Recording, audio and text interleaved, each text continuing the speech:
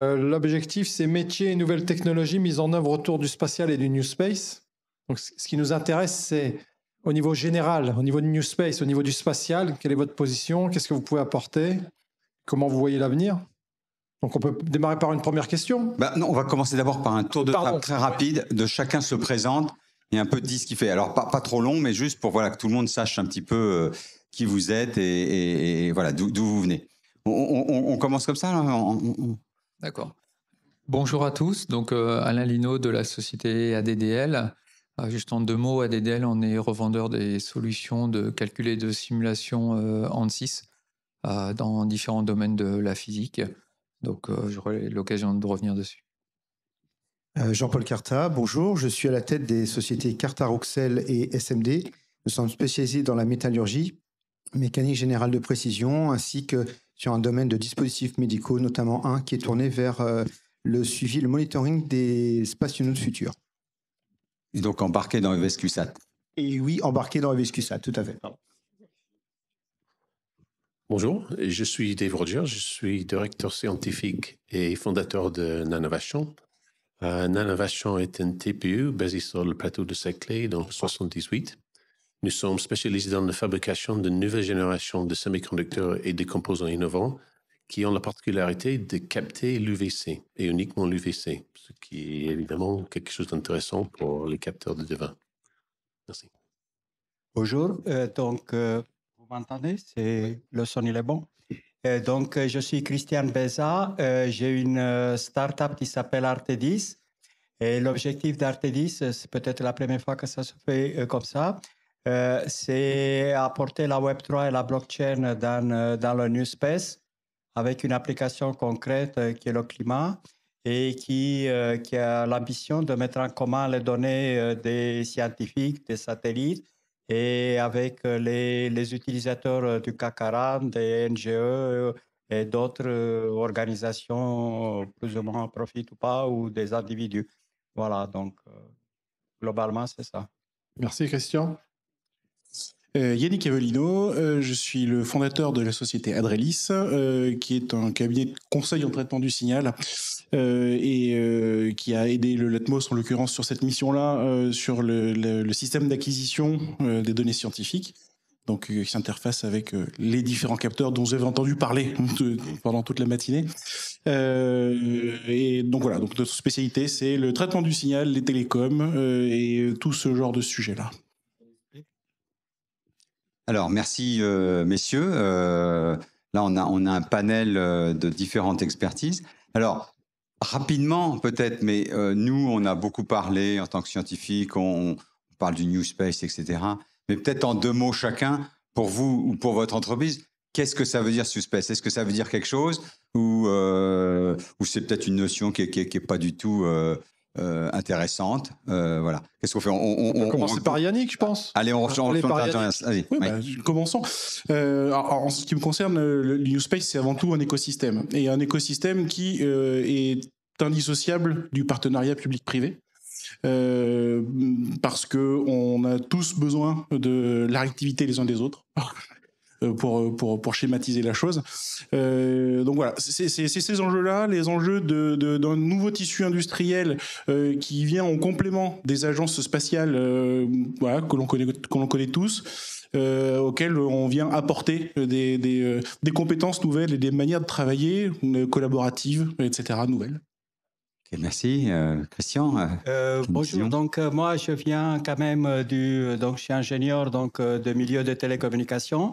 Donc j'étais plus familier avec euh, ce qu'il y avait avant le All Space, mais euh, pour moi le New Space en fait c'est quelque chose euh, qui est plus plus nouveau, qui est orienté vers vers les masses en fait, vers les utilisateurs finaux en grand nombre.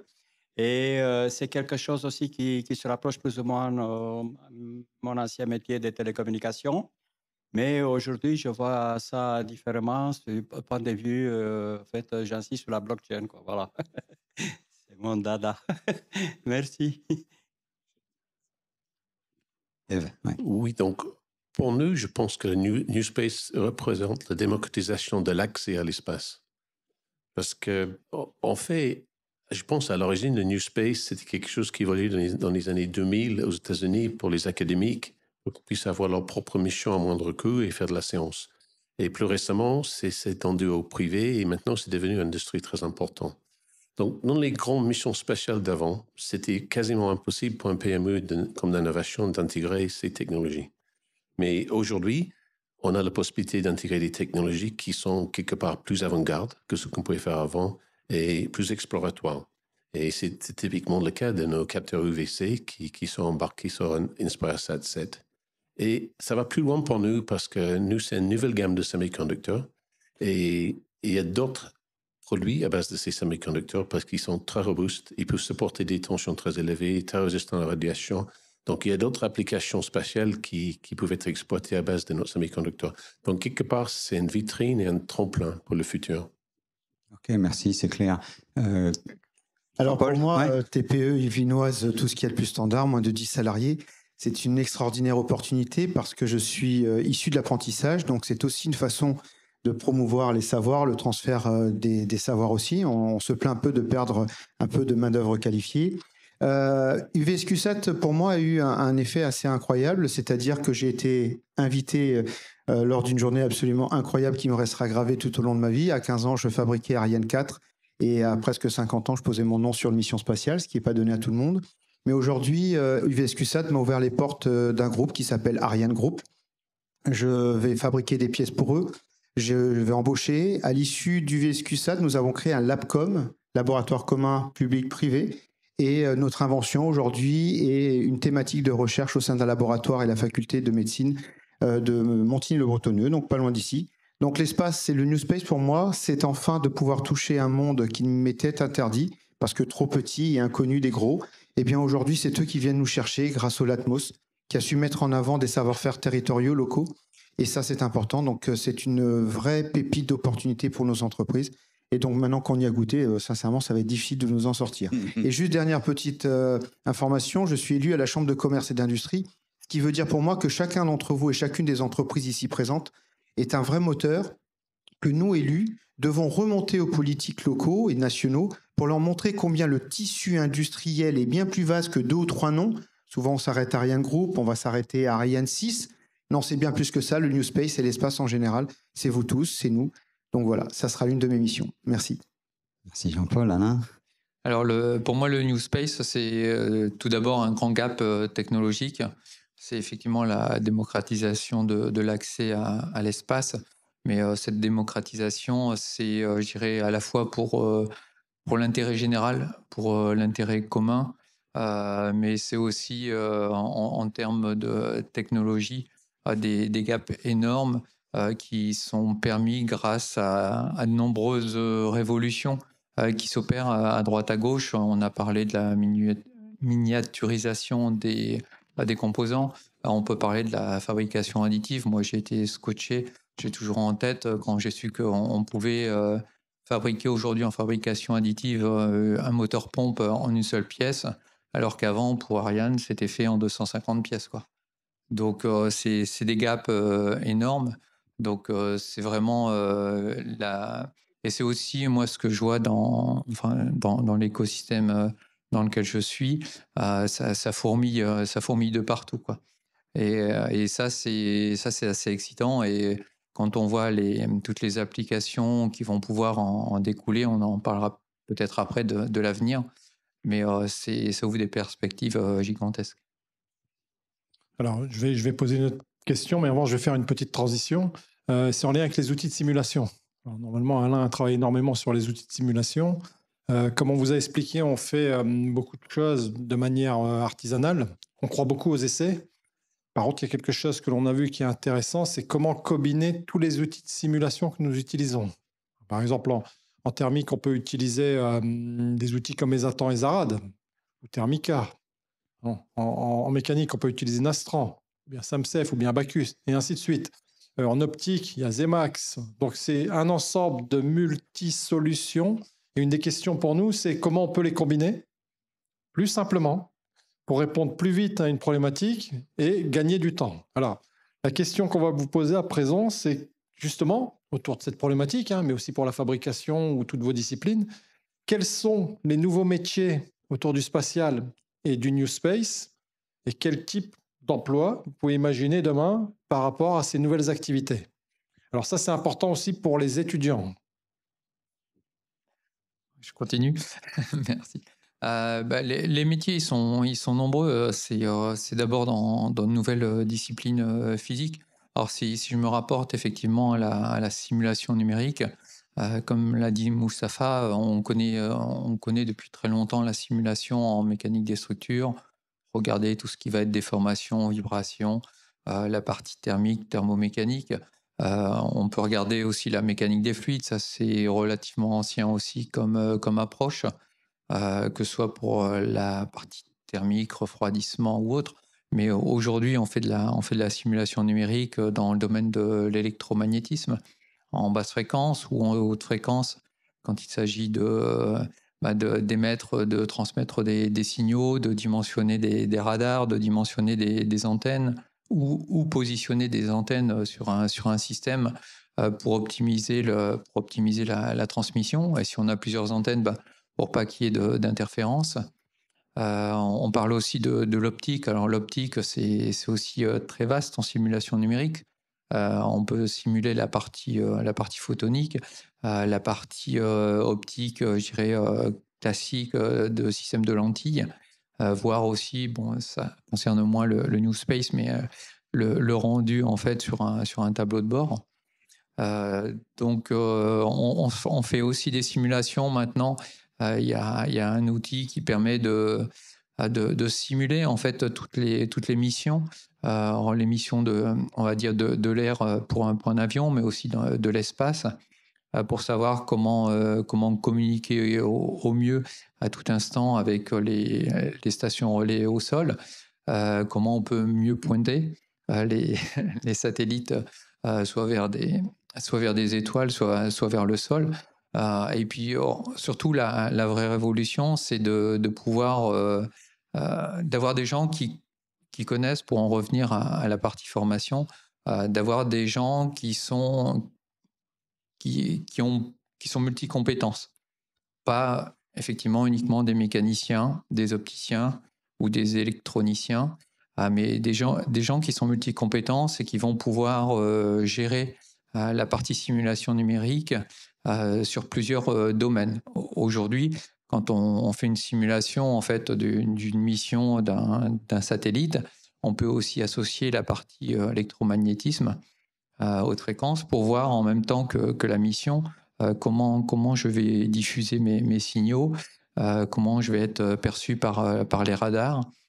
donc, on a, il va y avoir un, besoin de, compétences en fait dans, multisecteur et multi, euh, euh, multiphysique. Donc ça, c'est ça, c'est un point important. Ok, les multicompétences. Euh, Jean-Paul, peut-être. Jean-Paul, pour les nouveaux métiers? Nouveaux métiers. Alors, vous allez trouver ça surprenant, mais en fait, moi, je ne vais pas vous parler des nouveaux métiers, mais je vais vous parler des métiers passés, en fait, qui ont été malheureusement un peu abandonnés auprès de notre jeunesse. Euh, les métiers de la métallurgie, vous le savez bien, euh, vouloir tous avoir le bac et avoir tous bac plus 6-7, on a fini par oublier que ceux qui font ces petites maquettes ou euh, qui vont faire le moule de la bouteille en plastique, ce sont des usineurs. Et dans notre territoire, nous étions très industrialisés. Malheureusement, nous avons détricoté notre tissu industriel. Et aujourd'hui, en fait, le New Space, pour moi, c'est une manière de redonner des ailes de noblesse à des métiers qui ont complètement disparu. Je suppose que ici, des tourneurs-fraiseurs, vous savez à peu près tout ce qu'il en est, mais fut un temps où chacun d'entre vous, il y a 30 ans dans la même salle, aurait tous eu un oncle, un papa tourneur, un grand-père chaudronnier. Aujourd'hui, c'est plus le cas. Eh bien, le New Space, pour moi, c'est redonner donc ces ailes de, enfin, ces lettres, pardon, de noblesse à des métiers qui ont un peu disparu.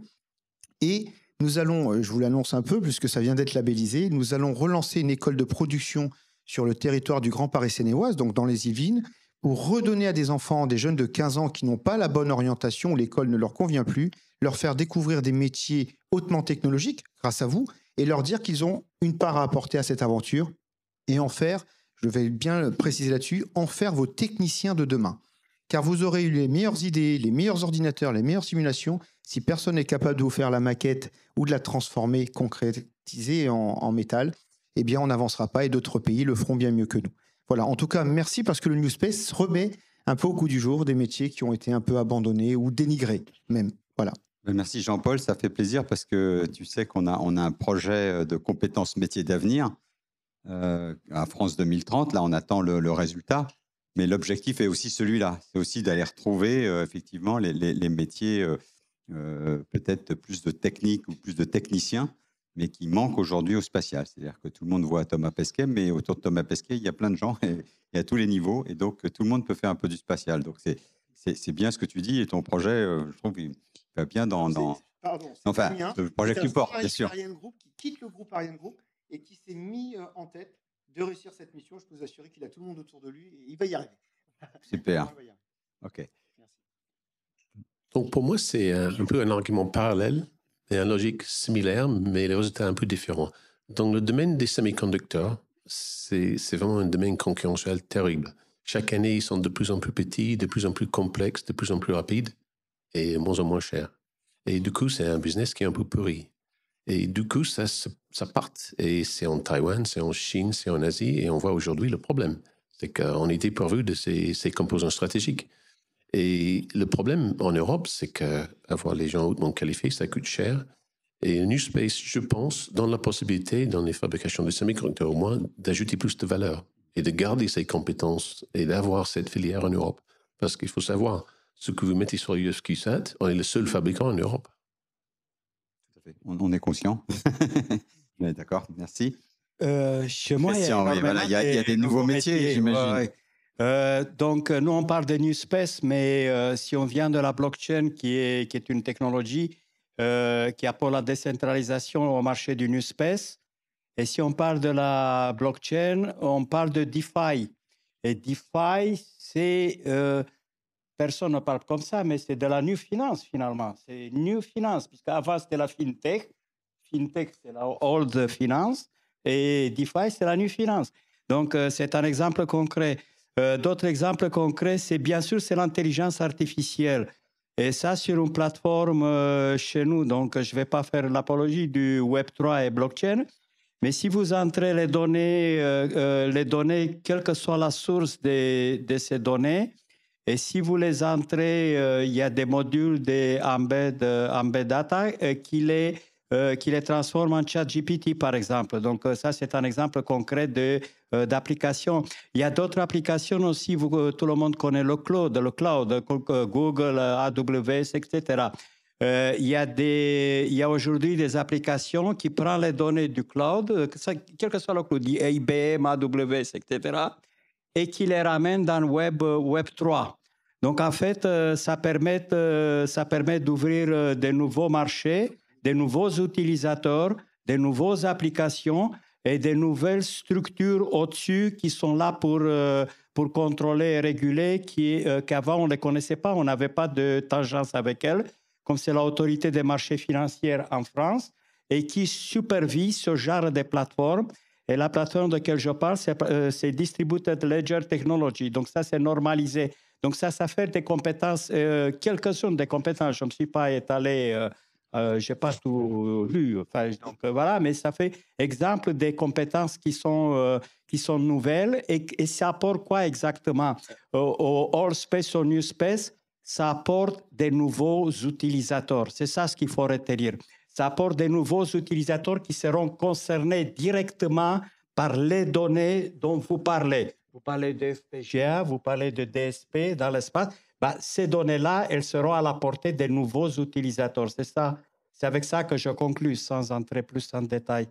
Je pense qu'il y a énormément, et puis c'est énormément d'argent ici, hmm. puisque quand on parle des blockchains, euh, surtout aux États-Unis, c'est des investissements qui sont énormes, qui ne peuvent pas être réalisés par une seule société. Si je, prends un exemple, puisqu'il y a une table, euh, Dassault ne pourra jamais créer une blockchain Dassault, ça c'est sûr ça ne peut se créer que dans des laboratoires, des gens qui sont ouverts d'esprit.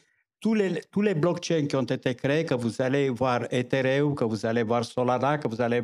Ce sont ont été créés dans le laboratoire. Il n'y en a jamais une société du Allspace et tout qui a dit je vais mettre un milliard, je vais créer un blockchain. Ça n'a jamais marché. Ils ont essayé, ça n'a pas marché. IBM a essayé, ça fait faillite. Azure a essayé, ça fait faillite. Euh, la seule manière de le créer, c'est avec des laboratoires où on- les gens y cogitent, ils échangent des données, ils sont ouverts d'esprit, etc. Merci. Je ne vais pas monopoliser là sur ce sujet-là, mais euh, je pense que l'idée, elle est là. Quoi. Merci, Christian. Ah, Yannick?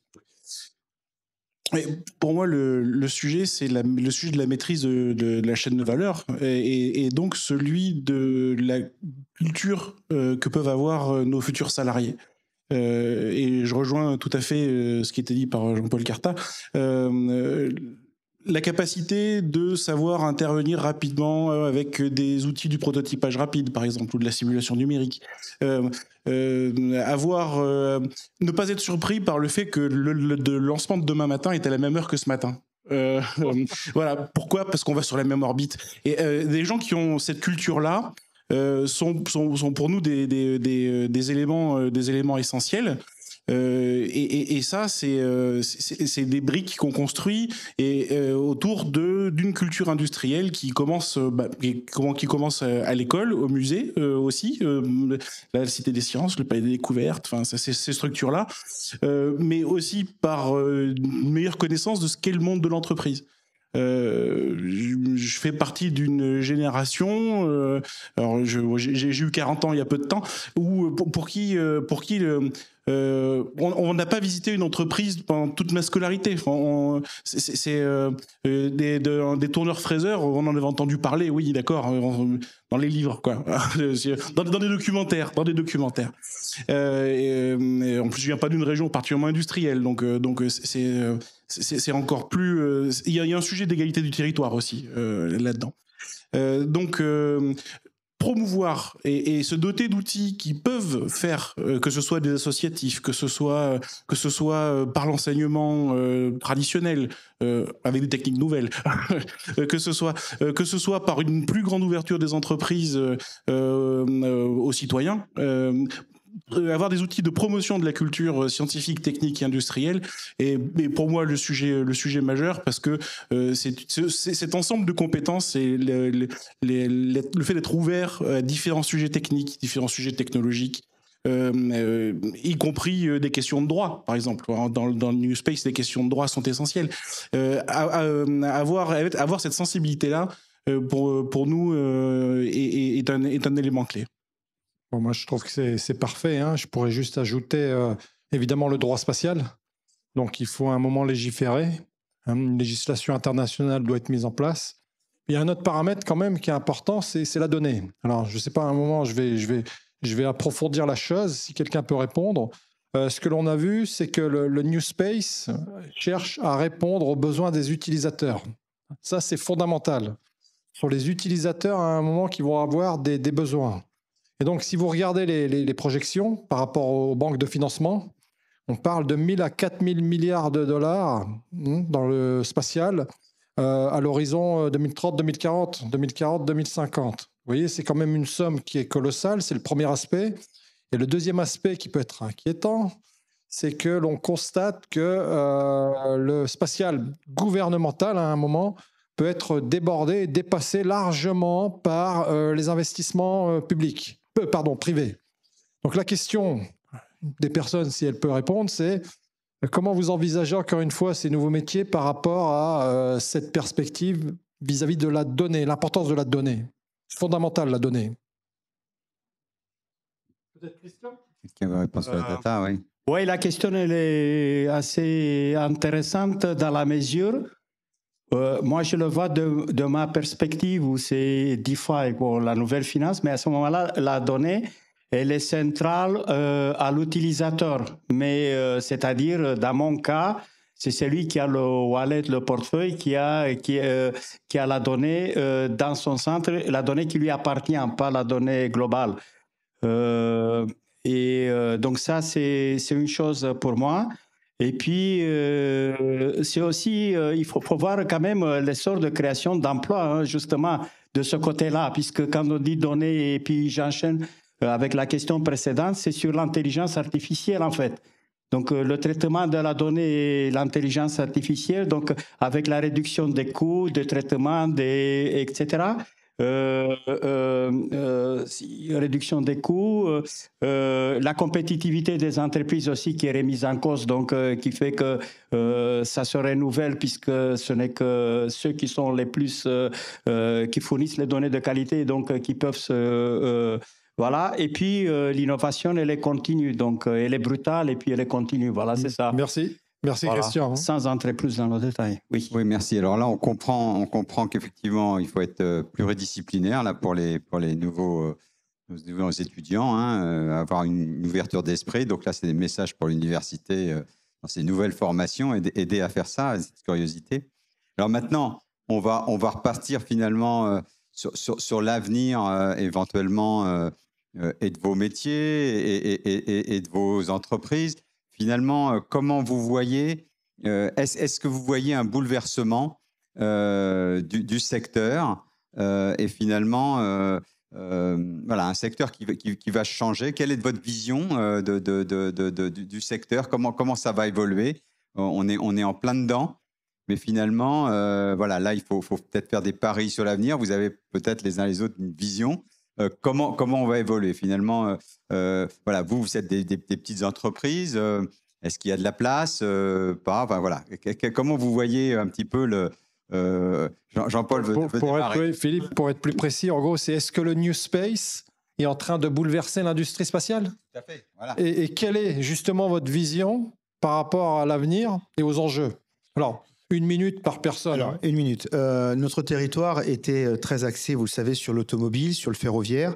Euh, les mêmes machines qui fabriquent des voitures de haute qualité peuvent fabriquer des pièces aéronautiques de haute qualité, qui va donner des perspectives aux entreprises de pouvoir venir voir des grands acteurs et leur proposer leurs outils qui commencent un peu à perdre de la charge, ce qu'on appelle de la charge, pour pouvoir offrir les mêmes prestations de qualité, mais à un secteur différent. D'autant plus que quand on est dans l'automobile, tout ce qui est certification, vous le savez, qui est contrôle, suivi, est tout aussi pointu que le spatial. Pour des petites entreprises comme la mienne, eh bien justement, en réduisant l'oppression qu'avaient les grands et de pouvoir traiter avec euh, des intermédiaires beaucoup plus apportés, ça va nous donner envie d'investir. Je vois l'aventure UVSQSAT chez Carta Oxel, c'est le, on a doublé la surface, on travaille avec Ariane Group, on va se forcer à faire de la qualité, ce que l'on ne faisait pas. Je ne dis pas qu'on ne faisait pas des produits de qualité, c'était pas ancré dans notre culture. Ça va nous obliger à faire tout ça. Ça va nous obliger à prendre des outils de simulation, de l'informatique, de la CAO, de la fabrication assistée par ordinateur, tout ce sur quoi je n'aurais pas parié il y a dix ans. L'aventure VSQ SAT pour moi, ça a été ce passage obligé, mais fait avec sourire et, bon cœur, mais ça a été ce passage obligé, et c'est surtout de ramener sur le Grand Ouest parisien une technologie, car nous sommes un peu les enfants euh, laissés pour compte hein, des Yvelines, soyons clairs, eh bien, on redonne un peu d'éclairage grâce à cette mission sur les capacités qu'a le territoire. Donc oui, ça va redynamiser et nous obliger à nous adapter. Voilà. qui, d'autre veut réagir sur euh, l'impact euh? Sur l'impact ah ben, euh, Moi, je dirais que le, New Space, que ce soit les nanosats ou les, ou les lanceurs ou, ou d'autres technologies liées au numérique, ça, ça, va nous obliger à aller encore plus loin. ça a déjà commencé euh, de notre côté avec euh, la, réalisation de logiciels qui sont capables de, gérer en fait euh, de nombreux cas de, simulation numérique pour tenir compte des variabilités des, propriétés matériaux, des chargements, pour, pour, tenir compte des, différentes physiques, pour tenir compte aussi de, recalage avec des, données d'essai. Donc il y, a des logiciels comme ça, entre guillemets, intelligents, qui vont être capables de de générer euh, des, systèmes de qualification euh, complets euh, pour, pour pouvoir optimiser et aller encore plus vite, si c'est possible, d'aller encore plus vite et, d'accélérer encore la, transition vers, vers l'innovation. donc voilà un petit peu ce que je voulais dire. juste un, dernier mot, s'il me reste quelques secondes. Nous, on intervient de notre écosystème. En fait, ça va euh, depuis les étudiants, depuis les logiciels pour l'apprentissage, pour la formation des étudiants, euh, les logiciels qui servent, euh, enfin c'est les mêmes outils mais des applications différentes pour les, gens qui font de la recherche, pour les laboratoires. Bah, il y, a des gens de, l'ONERA avec lesquels on, travaille de temps en temps. on travaille aussi beaucoup ben, avec les, startups. Il y en a plus d'une trentaine hein, sur, sur l'univers de, Paris-Saclay qui sont dans, dans le New Space. Donc les startups et évidemment les, les, sociétés industrielles. Donc on, les accompagne à utiliser les, logiciels et puis à aller encore plus vite, à limiter le nombre d'essais. Alors moi qui fais de la simulation depuis longtemps, je vous dirai jamais que la simulation, ça va remplacer les essais, pas du tout. ceux qui vous tiennent ce discours, il faut s'en méfier. Euh, non, non, euh, c'est complémentaire parce qu'il y aura toujours une, phase euh, d'essai pour valider. Et puis, on, apprend avec la simulation, on apprend. ça fait évoluer les essais. Et inversement, quand les, numériciens vont voir les gens qui font, qui font des essais, ça leur permet aussi d'affiner les, modèles numériques. Donc, il y, a encore beaucoup de choses à faire. Merci Alain. Dave? Oui, je, je pense que et un grand bouleversement que ça vient de démarrer. C'est que le début, là. Donc, d'ailleurs, on, voit dans, ce qu'on nous on vit, c'est qu'il y, a un impact scientifique. Donc, on est en train de voir le premier déploiement d'un nouveau type de semi-conducteur. C'est la première fois. C'est pas seulement le monde de New Space, c'est le monde des semi-conducteurs qui évolue. On va pouvoir étudier le Herzberg Continuum et le réchauffement de la planète mieux qu'avant, parce qu'on a des capteurs qui sont plus performants, donc il y a un impact environnemental à travers ça un impact économique. Donc, nous, avec des capteurs qui sont leaders mondiaux maintenant, qui vont être à TRL9 avec le lancement, on va pouvoir envisager de faire les caps de passer en mode production. Et ça, c'est la création de production dans les Yvelines. Le bassin d'emploi va profiter des emplois haute valeur ajoutée. Donc, il y a un grand impact économique. Et finalement, quelque chose qui peut être un peu loupé dans les discussions, c'est un, côté politique stratégique, parce que ces capteurs il faut faire assez attention aussi parce qu'il peut voir le lancement des missiles de l'espace. Et s'ils sont par terre, il peut voir le lancement des tirs des, fusées, des fusils. Pardon. Et ils sont également utiles pour les applications plus, intéressantes, moins, militaires, comme, par exemple la détection de feu. Donc des applications à grande échelle. Donc tout ça, quelque part, l'étincelle est là avec le New Space, mais ça va très loin. Et un dernier petit mot, si je peux. J'ai vu un entretien avec Elon Musk au tout début de SpaceX, quand tous les fusées explosé. Ça m'a vraiment frappé parce qu'on on se moquait de lui quelque part. Ils ont demandé est-ce que vous allez laisser tomber maintenant? Ça marche pas. Il a regardé doigt dans les yeux. Il a dit faut réguler. Le premier trilliardaire sur Terre, ça va être avec l'espace. Je pense que c'est ça, le New Space. Ouais, super. Si on parle finance, finis, euh, donc, euh, en, transition pour la finance. Euh, comme nos utilisateurs finaux, en fait, ce sont les épargnantes. Et ça, ça, c'est vraiment une nouveauté extraordinaire, hein, que ce soit les épargnantes et puis les nues finances, bon, c'est la DeFi.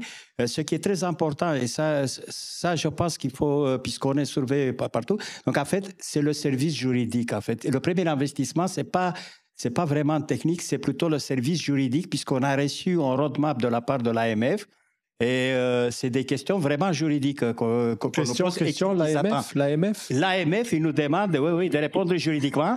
Et ils sont intéressés puisque euh, la DLT, elle est régulée. Elle est régulée, DLT, c'est la plateforme, elle est régulée au niveau européen et ça va être régulé au niveau français. Donc, donc ça, c'est vraiment un truc très important. Et c'est pour vous donner un exemple. De, de définir l'AMF. Euh, autorité des marchés financiers. Ouais, euh, pour le public. On va les voir euh, ce soir. Tout le monde n'est pas spécialisé. Hein. Oui, mais vous allez les voir. Hein, ils sont très sympas. Et ce qui est très intéressant, c'est pour, pour, vous dire l'ampleur, l'amplitude. Gessler, vous connaissez, il était professeur chez MIT. là, il n'arrive plus à réguler les blockchains et il n'arrive plus à les réguler. Il a demandé un budget de 2,8 milliards de dollars rien que pour réguler. Donc, en fait, c'est une course entre la, la régulation législative, ce n'est pas interdite, et la technologie qui évolue très vite. Donc, euh, voilà, j'ai tout dit pour euh, ce sujet. Euh, Yannick, Yannick? Oui, le, sur, sur, la question de l'avenir de l'avenir de, du New Space, pour moi, la perspective, c'est celle d'un marchepied. C'est-à-dire que c'est un marchepied technologique.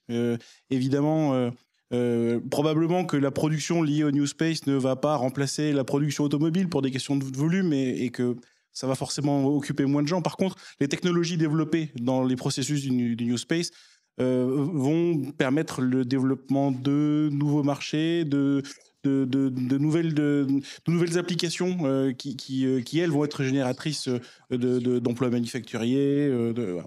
Euh, donc, euh, pour moi, la question est celle de l'écosystème euh, et, de l'investissement qui permet de constituer cet écosystème, de le faire vivre. euh, parce que c'est voilà, c'est un investissement au sens premier du terme. Euh, euh, ce sont nos emplois et, euh, nos retraites et, c'est notre avenir. Bah, c'est superbe. Alors, je vais faire une transition avant de passer à la dernière question. Euh, ce que l'on a constaté, c'est un regain d'intérêt pour l'orbite basse. L'orbite basse, c'est parce que derrière, à un moment, on va avoir des, des temps, temps d'opérabilité qui vont être plus courts. Ça, c'est un des paramètres. Et l'autre euh, paramètre, c'est à un moment euh, la fabrication en chaîne des satellites. C'est de l'industrialisation. Hein, c'est ce qui est en train d'être fait par Starlink. Alors, si on regarde de près, on a constaté que à un moment, ils n'ont pas 100% de satellites opérationnels. Donc, l'industrialisation est en place pour l'espace. Et si je prends le, cas des détecteurs euh, de type de vin, UV, ou les chaînes électroniques, ou même les outils de simulation, c'est aller plus vite pour produire plus, avec évidemment des aspects qui peuvent être négatifs. Voilà. Alors, et ça, c'est la dernière question. C'est intelligence artificielle et New Space sont-ils indispensables pour gagner la bataille du climat? Comment on connecte l'intelligence artificielle et le New Space? Peut-être Yannick? L'intelligence artificielle est un des outils, des nouveaux outils à notre disposition. euh, qui euh, aujourd'hui ne fait que, que, mimer euh, ce que, le fonctionnement de notre cerveau, de, nos, capacités cognitives, mais, mais qui a la grande différence de le faire sans fatigue et de le faire beaucoup plus vite. Et ça, c'est des, des outils avec lesquels on va, on est en train d'apprendre à vivre.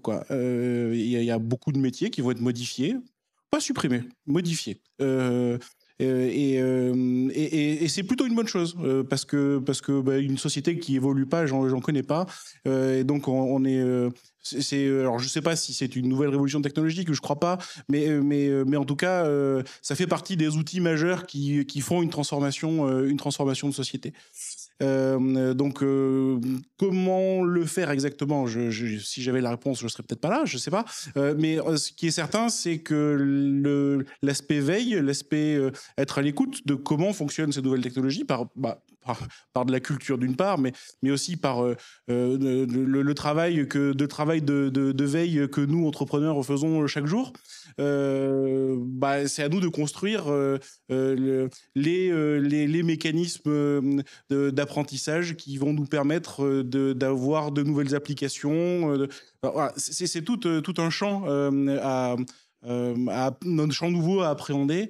Euh, euh, qui- qui arrive. hein, c'est euh, le grand sujet de l'IA, c'est que on est sur des processus lancés il y a longtemps. On, met ce terme-là un peu tarte à la crème sur tout n'importe quoi.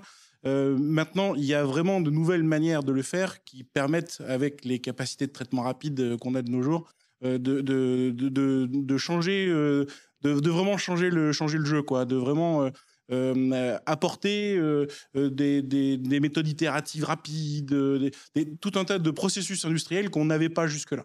Et, donc, pour moi, les changements auxquels on est en train d'avoir à faire, c'est ça, c'est l'arrivée de nouvelles manières de faire, de- de- d'avoir des processus itératifs. D'accord. Alors, je vais reposer la question à Dave. hein. Dave, donc, comment on peut combiner intelligence artificielle et New Space? Évidemment, par rapport à ces détecteurs, en les multipliant pour avoir une meilleure réponse, notamment par rapport à cette bataille du climat. Oui, donc euh, l'intelligence artificielle, j'ai l'impression que dans notre métier, on l'utilise de deux façons. Donc, on a par exemple un système d'inspection de wafer qui, qui augmente la vitesse de, fabrication, qui nous permet d'éliminer les, les erreurs de, fabrication. Et on peut également programmer les conditions de dépôt dans des systèmes qui apprennent rapidement et qu'on peut mettre au point des nouveaux matériaux plus rapidement. Quelque part, c'est comme un rebranding de machine learning, comme si quelque chose qui existait, ça a l'air anodin. En même temps, sur l'autre côté, on a Elon Musk qui demande à tous les chercheurs du monde d'arrêter de faire leurs recherches dans les AI pendant six mois. Donc, quelque part, eux, ils envisagent un, un monde comme Matrix Reloaded, dystopie, très dangereux. Et au milieu de ça, ChatGPT, cette semaine, apparemment, répond mieux qu'un généraliste moyen sur les problèmes de santé. C'est pas mon domaine. En réalité, c'est- ça va trop vite, mais forcément, il y a un grand impact. Je ne sais pas ce que ça va être. Peut-être Jean-Paul Petite phrase Alors, pour le coup, c'est le citoyen qui va pas parler et pas le, le chef d'entreprise. C'est que moi, je suis à la fois de plus en plus effrayé par cette intelligence artificielle qui me sublime complètement. On vient de donner deux exemples.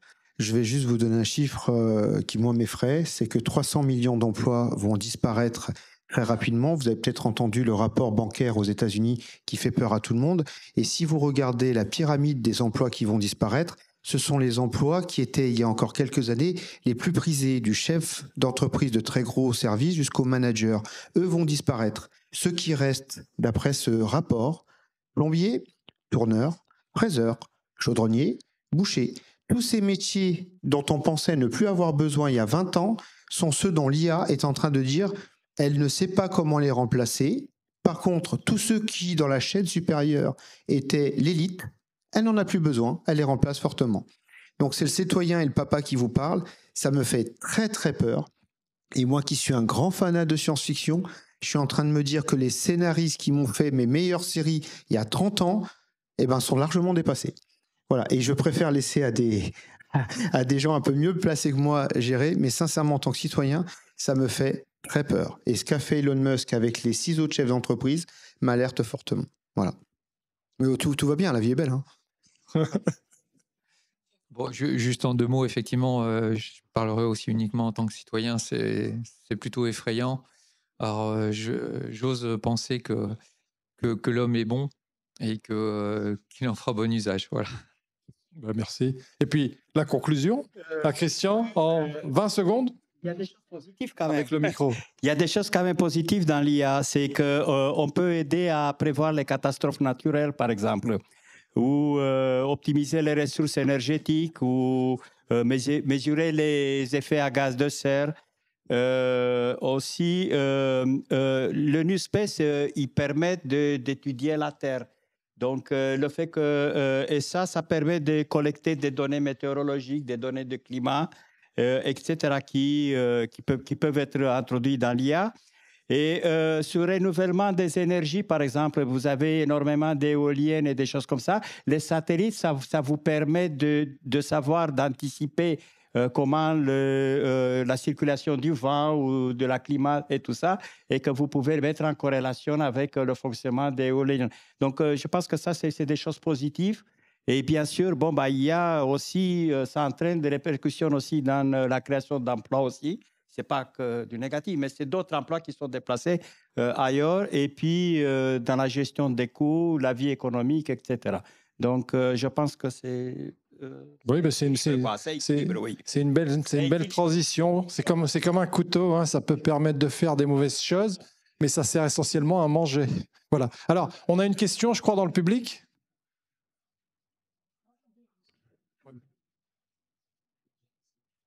Euh, bonjour. Moi, ma, question, c'était plus par rapport au droit euh, spatial.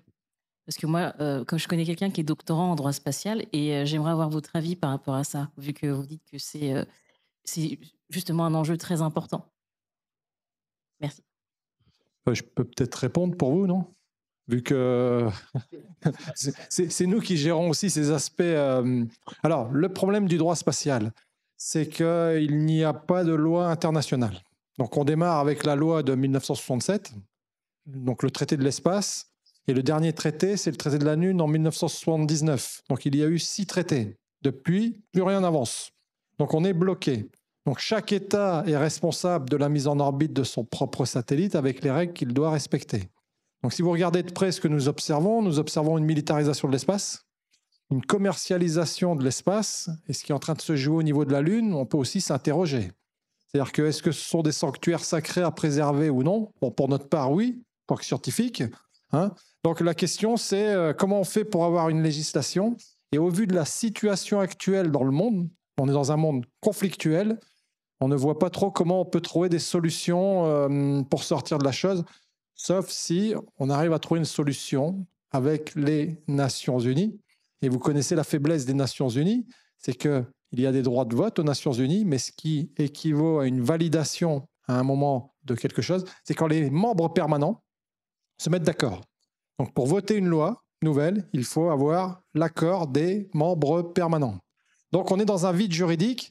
Et alors, il y a quelque chose d'intéressant, c'est qu'en général, euh, bah, le système va beaucoup plus vite que les lois. Alors, je n'ai rien contre les bureaucrates et les technocrates, mais ils vont pas assez vite.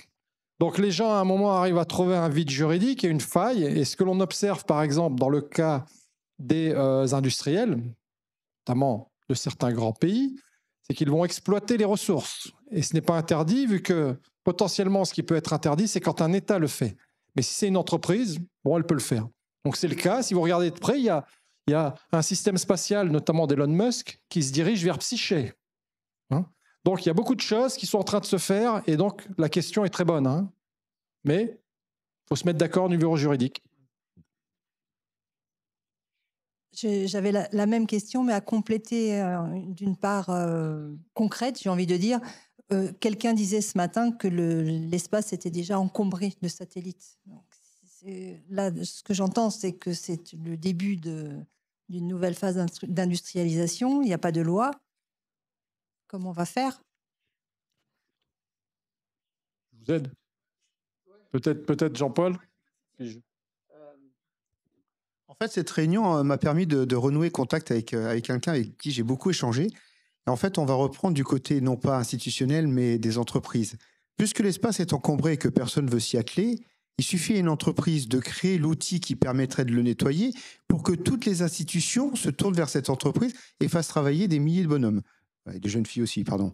Mais en fait, voilà, c'est comme ça que tout à l'heure, en discutant avec euh, chef d'entreprise qui expose, c'est un thème, on s'est dit, mais oui, euh, cet encombrement dont vous avez parlé ce matin, euh, eh bien en fait, c'est une opportunité nouvelle pour des entreprises. Allons récupérer les déchets de nos prédécesseurs et espérons nettoyer un peu parce que si j'ai bien compris, même les télescopes n'arrivent plus à voir les, la nuit correctement. C'est bien ça? Alors, j'ai peut-être, je peut-être euh, juste avant. En, fait, il y, a, aussi une. là aujourd'hui, on envoie des petits satellites, mais l'idée et, et, finalement, c'est pas pour rien ce panel aussi c'est qu'il faut que tout le monde travaille ensemble. C'est-à-dire que finalement, il faut qu'on ait aussi des plateformes de HAL. Euh, une plateforme qui fait euh, des applications peut très bien faire de la science, par exemple. Comme ça, on va limiter. Donc tout ça, tout ça va venir sur un, même point, c'est la régulation. C'est-à-dire qu'il va falloir qu'effectivement, on sache gérer le nombre de plateformes, donc la législation, bien sûr, mais aussi qu'on soit raisonnable sur le nombre de plateformes Hein, donc, euh, on, a, parlé des automobiles, mais peut-être c'est des autobus qu'il faudrait qu'on ait avec plusieurs choses dessus. Et donc, on arrive à, gérer ça. Jusqu'à présent, il n'y a, pas eu beaucoup de cas où effectivement, euh, on, a, mis des multi-applications multi, euh, militaires, civiles, scientifiques ensemble. Mais demain, je pense qu'on y gagnera à, essayer de, créer cette synergie. Une petite parenthèse, quand même, en France, on doit respecter une loi qui s'appelle la loi des opérations spatiales. Elle existe. Euh, il y a des règles à respecter. Une des règles, c'est de désorbiter un satellite euh, au bout de 25 années. Donc tout le monde essaye de, respecter cela. Maintenant, si vous regardez ce qui est en train de se produire, on voit émerger des méga constellations. Donc vous avez la constellation de Starlink. Hein, vous avez du côté chinois, vous avez Guowang. Puis vous en avez d'autres hein, du côté russe. Donc oui, il y a un risque, un très gros risque. Euh, mais le gros risque, c'est quelque part les États les plus puissants qui utilisent des satellites sont finalement peut-être les plus fragiles. Parce que quand vous avez toute une série de technologies qui est basée sur ces satellites, et si demain on a des accidents ou des collisions, il y a un effet Kissinger qui est connu, c'est quand un satellite tape un satellite qui tape un autre satellite, à un moment, on peut avoir un espace non utilisé. Donc on peut voir ce qui s'est passé avec euh, un tir euh, chinois avec une mise en orbite en 2007 euh, sur un des satellites qui a montré une augmentation colossale de nombre de débris dans l'espace, un accident un peu plus tard. Donc oui, c'est un risque, c'est un risque majeur. Voilà. Donc c'est pour ça que quelque part, une régulation doit être mise en place rapidement. Et puis, bon, on voit apparaître d'autres problèmes. Alors, j'ai entendu pour les télescopes, hein, on arrive quand même toujours à observer, mais euh, quand on a une multitude de satellites, c'est plus dangereux pour évidemment observer ce qui peut venir aussi de l'extérieur. Donc, on est dans une situation qui est un peu étrange, euh, à la fois dans un monde hyper technologique, mais aussi qui montre aussi euh, une forme de fragilité de ces sociétés modernes qui sont quelque part, oui, trop, trop, trop, trop basé sur la technologie. Voilà. Bon, maintenant, j'insiste, nous, ce que nous cherchons à faire, c'est mettre en place évidemment des constellations pour répondre à des besoins scientifiques et pour répondre aux enjeux hum, climatiques. Hein. Et ensuite, l'idée, c'est de désorbiter ces satellites pour conserver à un moment un environnement euh, propre. Voilà. S'il y a d'autres questions. Peut-être une dernière question. Euh, juste une remarque, un, complément, un, complément, pardon. C'est euh, effectivement quand on peut les désorbiter, c'est bien, mais il y a aussi beaucoup de débris. Et moi, ce que je trouve rassurant, c'est qu'on on travaille depuis très peu de temps avec une startup qui vient de se créer et qui, dont l'objectif est effectivement d'aller récupérer les, les, débris. Donc, et comme disait Philippe ce matin, ben c'est euh, les petits jeunes qui sortent de l'école qui nous, qui nous bousculent. Ah, là, c'est deux petits jeunes qui, qui effectivement sortent, de l'école et, c'est très bien. Est-ce que vous avez une dernière question peut-être?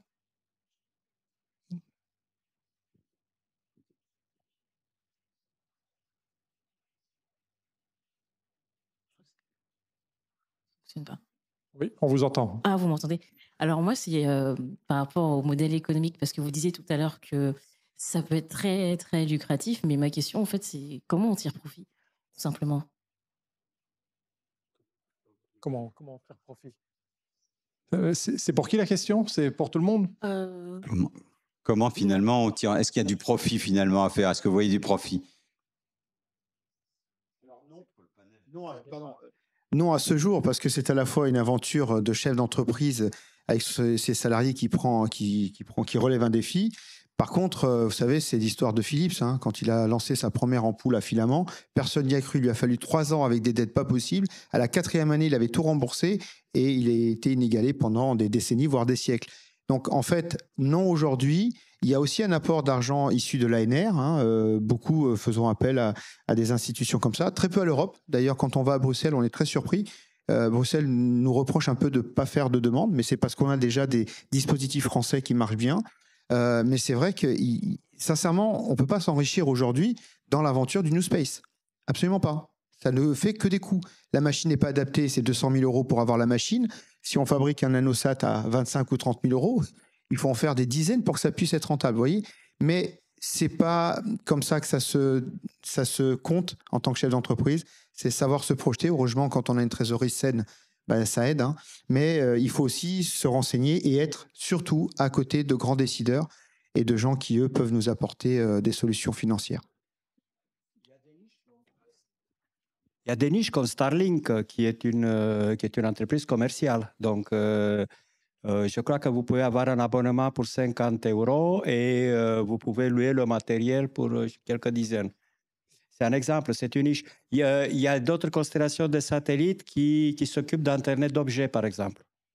Euh, il y a d'autres. Euh, il n'y a pas que Starlink, il y a OneWeb aussi qui fait la même chose.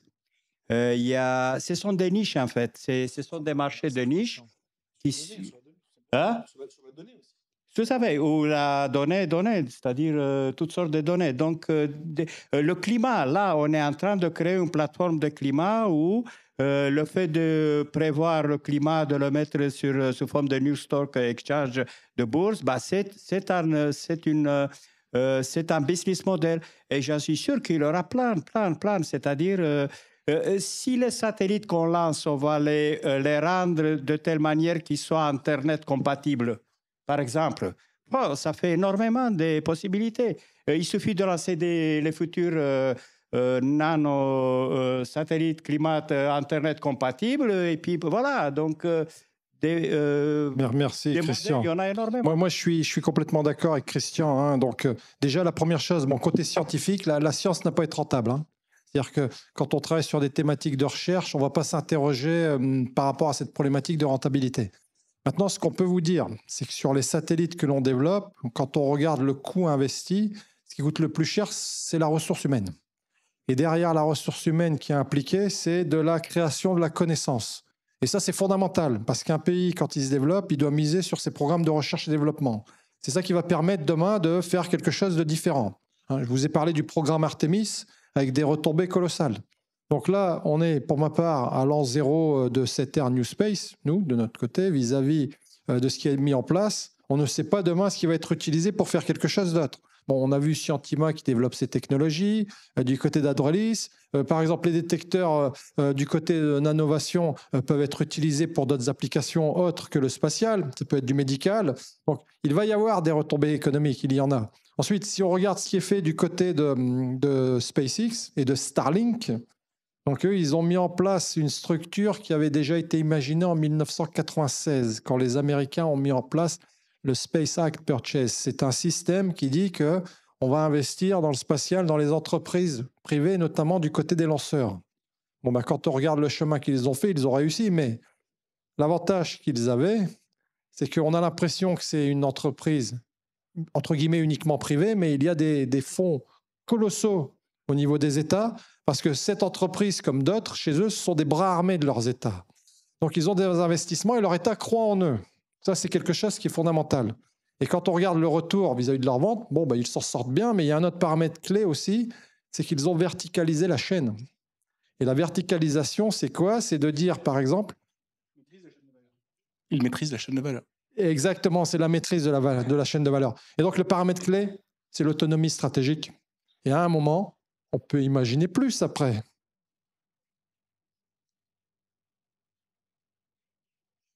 On va, s'arrêter là-dessus, je crois. hein. On a la maîtrise de la chaîne de valeur. Je pense que c'est très très bien. On est tous là pour travailler ensemble sur cette maîtrise. Eh ben, on va parler de l'avenir. Et on va Et l'avenir, c'est Alain Sarkissian. Voilà, merci messieurs en tout cas d'avoir partagé votre vision.